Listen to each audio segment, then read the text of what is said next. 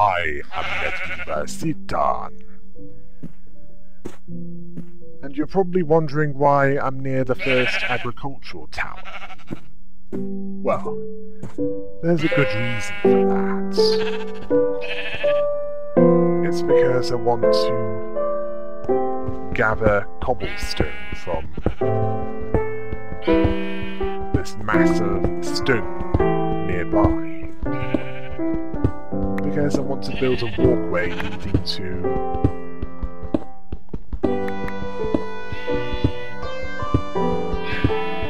where that ocean monument is. You know that's one. The one where I made use of water breathing potions. A more convenient way of getting there, and also somewhere to respawn in case something goes wrong.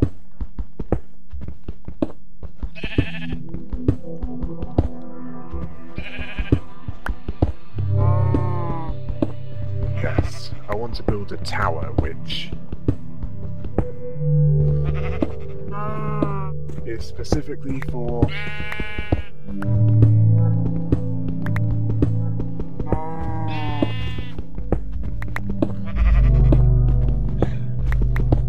safety reasons. Because I've got a lot of enchanted stuff on and I'd rather not lose it.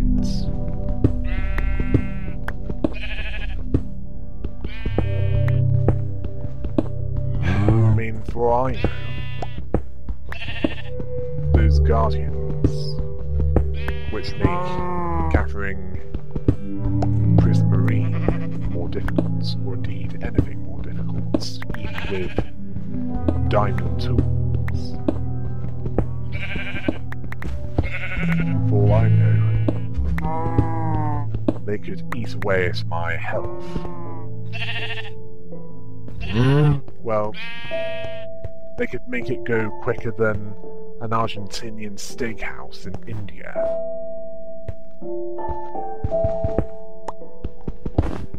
It's just as dangerous to, I...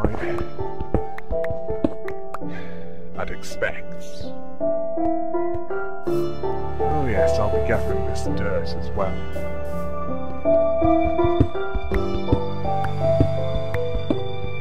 As that'll be for the base of the arena. Don't worry, I haven't forgotten about that. I have greatly expanded on the base of it. It is going to be huge. And I haven't even worked on the arena itself yet. Hmm.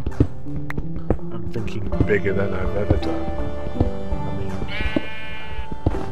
Bigger than the first agricultural tower.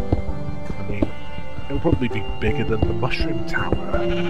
That's the second one with agriculture in it.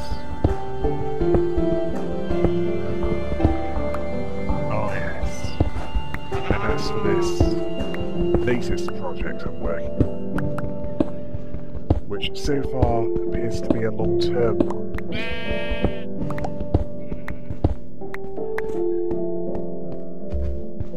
It'll be more than 50 parts.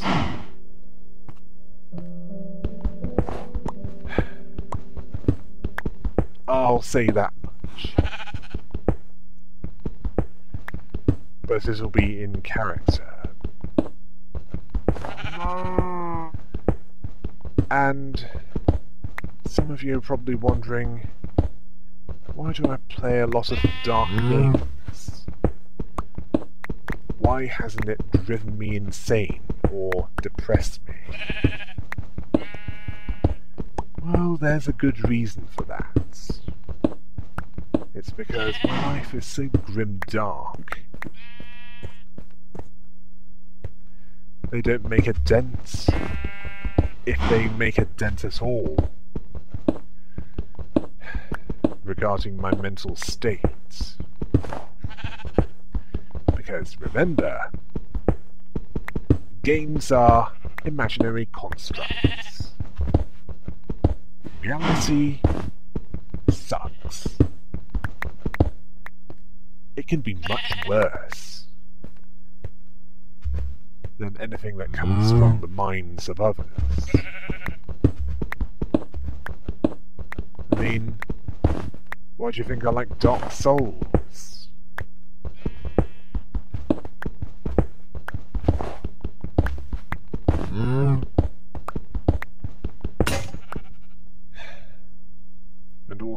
The Void.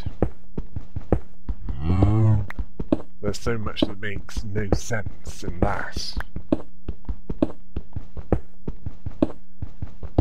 You'd expect me to ah. think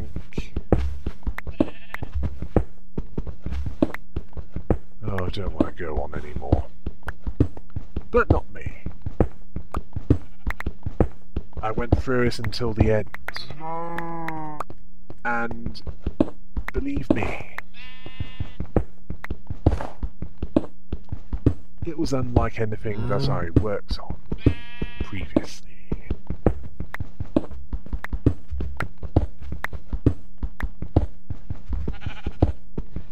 Although Antechamber was still the most strange.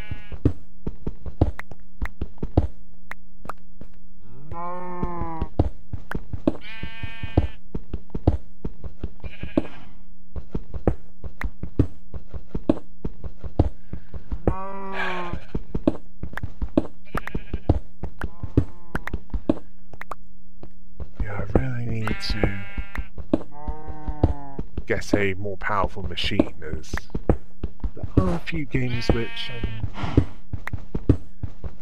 might be worth playing.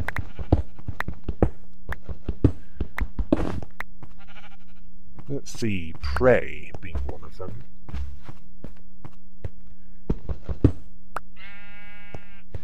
Seeing as it's a Bioshock type experience. Doom, perhaps? Well, I've gone through the rest of it. And no, I'm not counting the BFG ah. edition.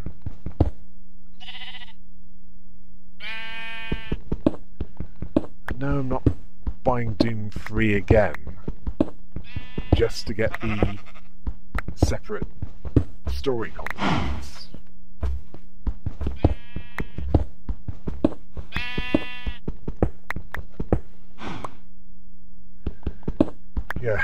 Main reason why that was a survival horror type experience with narrow corridors. Well, more or less, was because apparently the hardware at the time couldn't handle the kind of experience that classic Doom provided. Not so in this case. In fact, if I do play that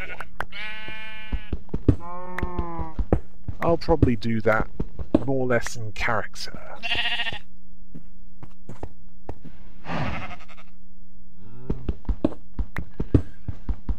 Well,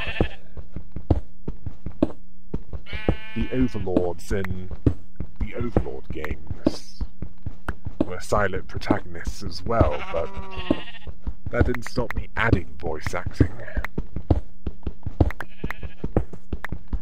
In fact, I think it made the experience slightly better.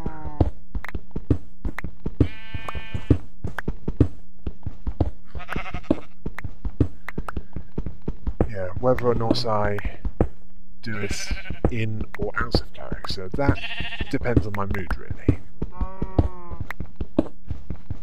Oh yeah, there's also the Spectrum retreats. That looks interesting.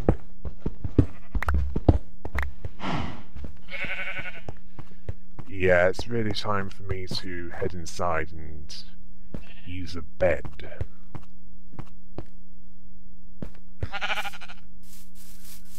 Well, unless you want me to attract some phantoms. Yeah. A lot of the time I seem to gravitate towards indie titles with more cerebral contents. Although that doesn't stop me from doing something a bit less cerebral. That involves a lot of weapons and explosions. Not the Michael Bay type. If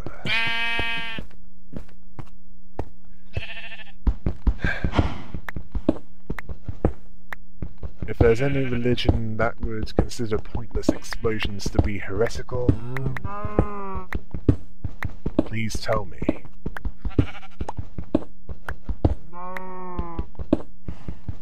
Because I'd like to inform someone from that religion to go deal with the heretics. Preferably by tying them to a stake and setting it alight. Sorry, that's a bit too medieval. Let's not do that.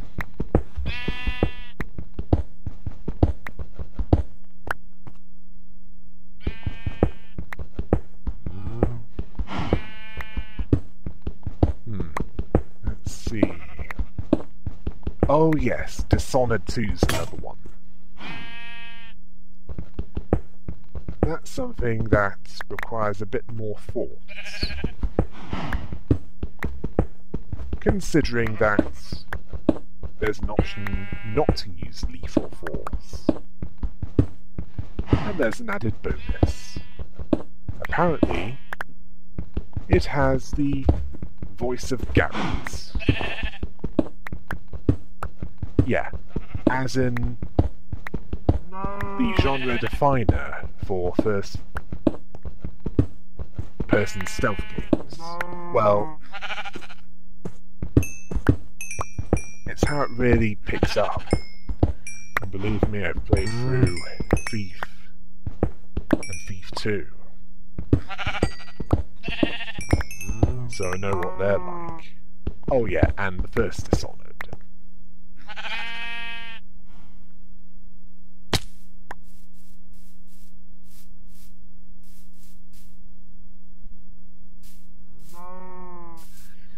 Yeah, the first Dishonored, that's basically a choice between the way of Batman, as in no lethal force, and being subtle about it, or the way of Deathstroke, which is quite a bit of collateral damage and being less than subtle. In other words, how you typically play a first person shooter.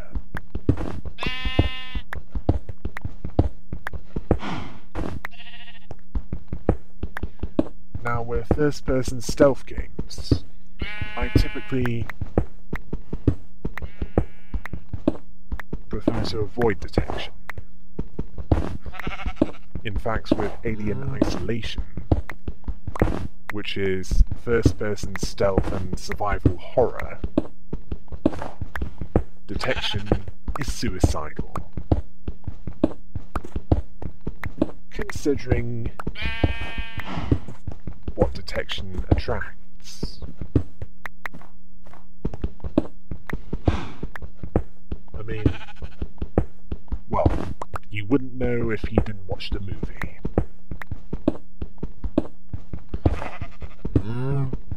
As that's basically how that game works.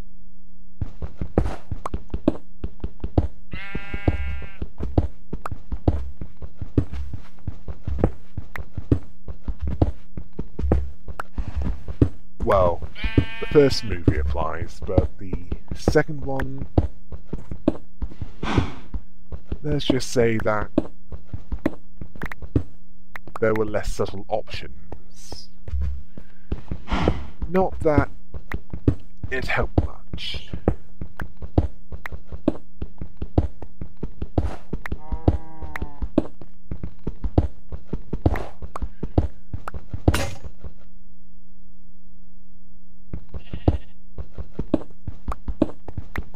And yes, I did go back to the lore.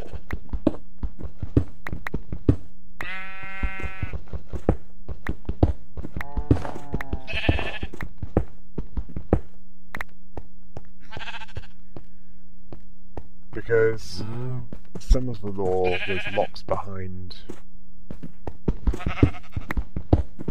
ways that I couldn't access.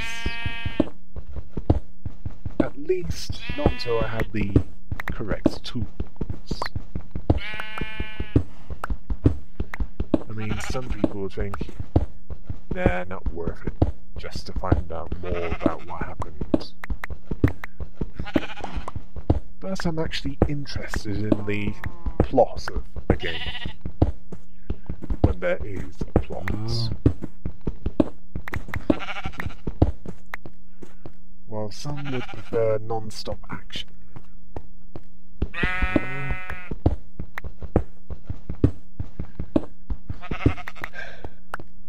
Yeah, basically adrenaline junkies.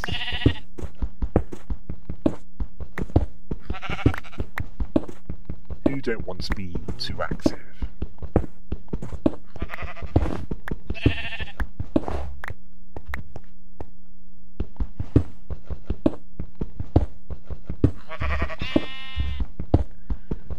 Right. Rethink has been uploaded at this point. Yeah. It's as if the more mainstream or AAA game companies are steering clear of first person puzzle. Well, they're lost, I suppose. Because it means it's a void that others who are a bit less, how can I put it, snobbish when it comes to certain genres.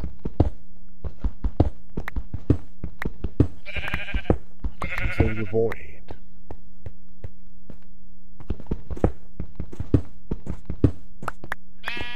I mean, some of these developers, AAA developers, believe that survival horror was dead.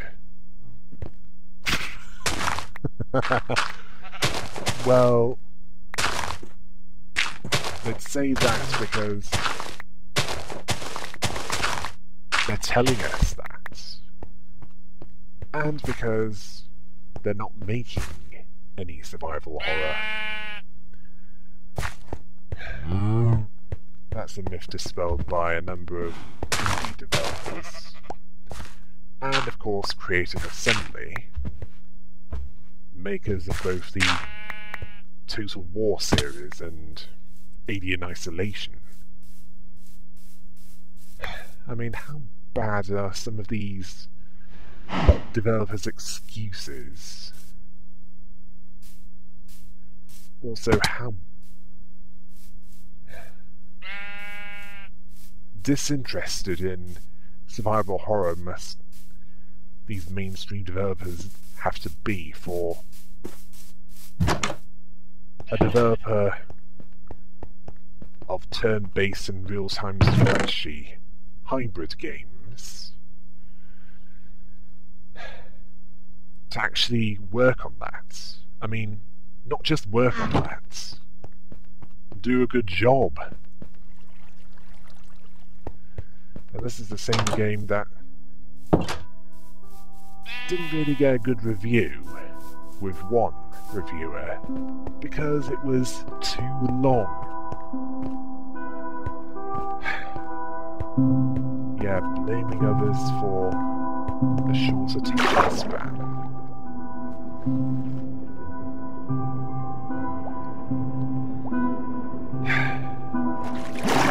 Well, let them watch a Michael Bay movie. As that's more their thing. Oh yes, and you know those known as snowflakes? Rather, to give them the full title, entitled snowflakes.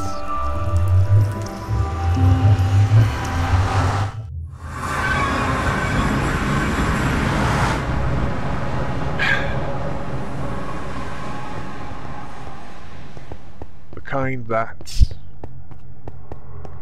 overreacts at even the slightest amount of criticism. The kind that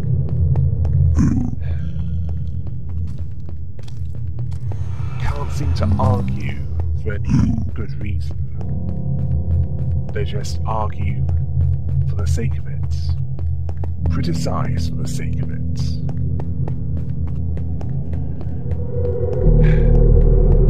And if there's something that they don't agree with, just slam you. And not bother to listen to your side of it, to get the facts straight, to make it anything other than a one-sided argument. The kind of people who can dish it out, but can't really take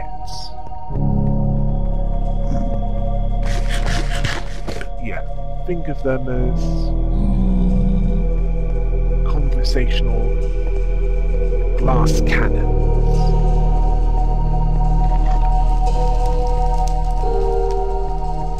Much like Tenebrarum of Vinheim in Dark Souls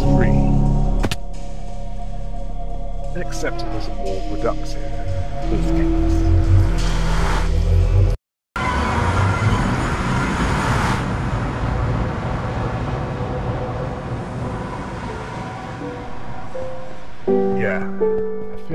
Was a psychological term which describes such individuals. The Napoleon complex, which can be summed up to small person, big mouth. Doesn't have to be physically.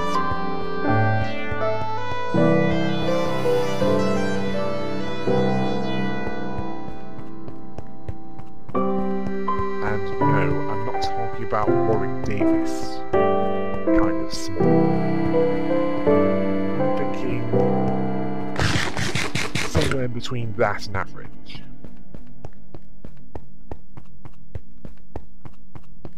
The latter more than the former.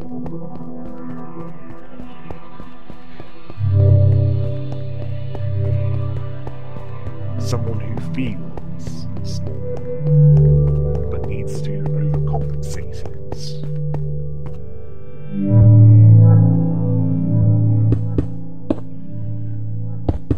By having an inability to keep their big mouth shut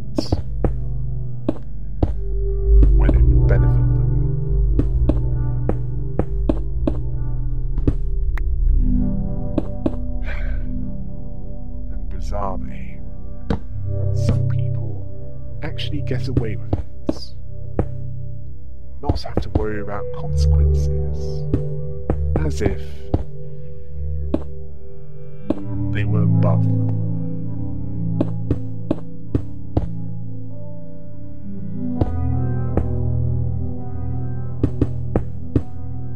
Well, the consequences aren't always immediate.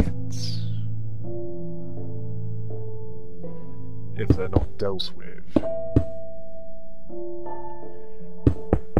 they can catch up with such individuals. It's also known as karma. As in karma's a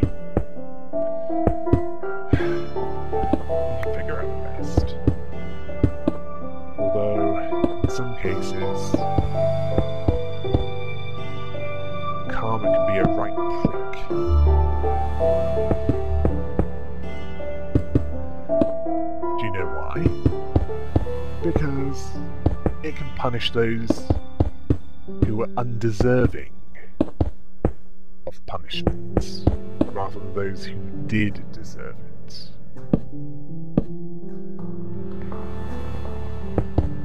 Oh yes.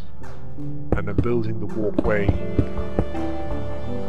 roughly in the direction of where I put the torches. Hoping that I get to the right direction of the ocean monument. Yeah, I'll probably be focusing on the walkway for at least as long as it takes to get to that landmass near the ocean monuments. And I remember putting a bed down in a chest somewhere, which means I'll have plenty of, well, a bed spare to place nearby. I might also want to make another ender chest so that I can transfer materials between sites. Fact, I can transfer it anywhere that has an ender chest. Oh yes, and once placed, it can't be removed. At least not as easily as a regular chest. But the advantage is, its contents can be accessed anywhere.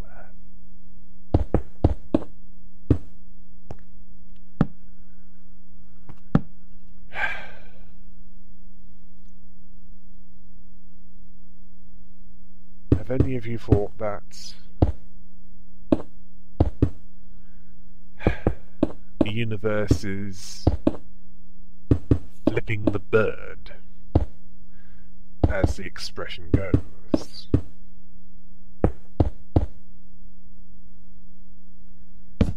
That's just being cruel to you. Just for the sake of being cruel.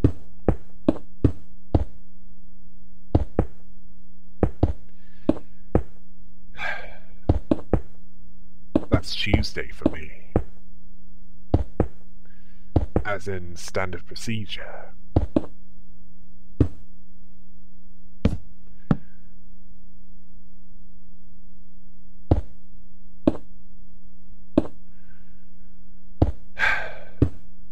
Oh yeah, and the sad part about this is it doesn't really affect me that much.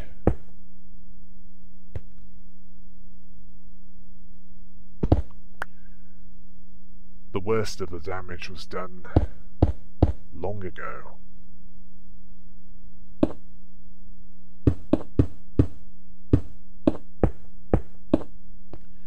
Does that disturb some of you?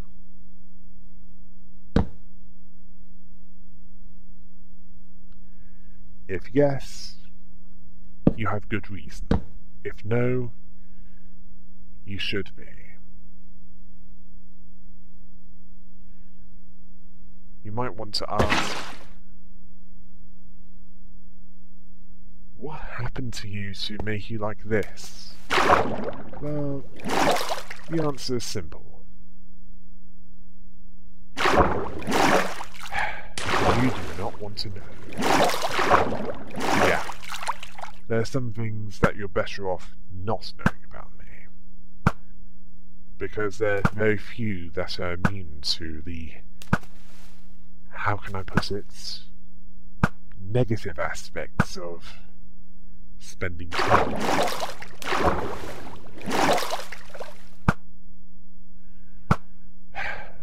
With most individuals, the more they know me,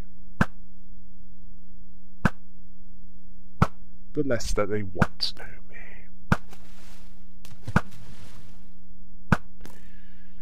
It's mostly family that's if not immune. They're strongly resistant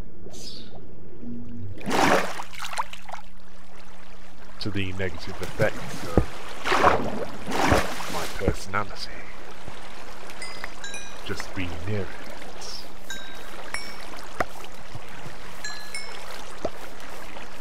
Although that might have something to do with limiting their exposure to me. And yeah, I put the cobblestone in the wrong places.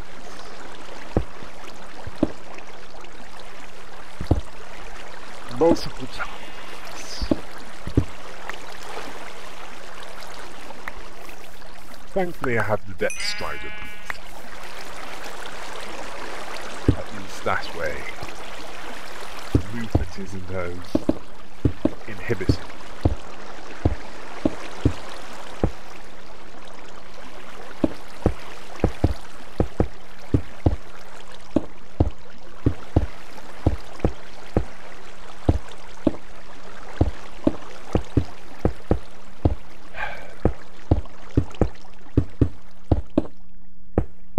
Yeah. I know the supports are more for show than anything, I wanted to keep them built in places.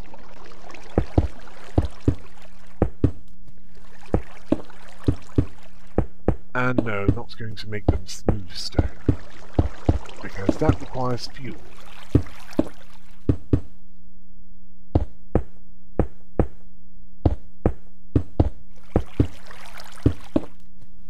Cobblestone is easier to come by than coal.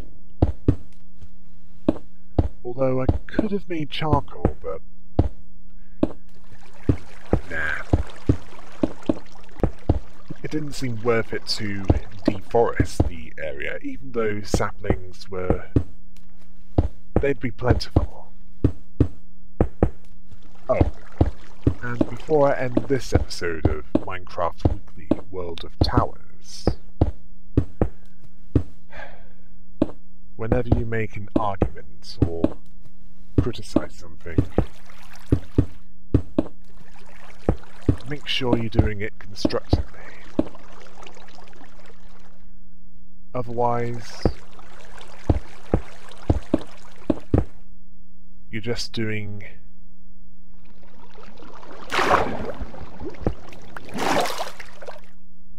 well, you're not doing anyone any favours.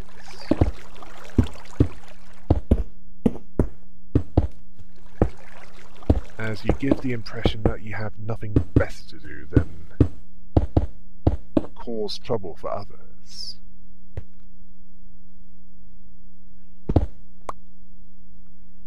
Which for some might not be the intention. But others, such as psychopaths, and especially those who are narcissistic,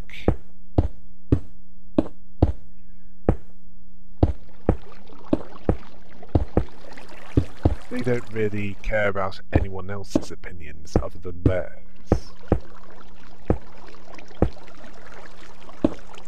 Because they're the only one who should matter. They're the centre of the universe. And yet, they're seemingly incapable of running their own lives.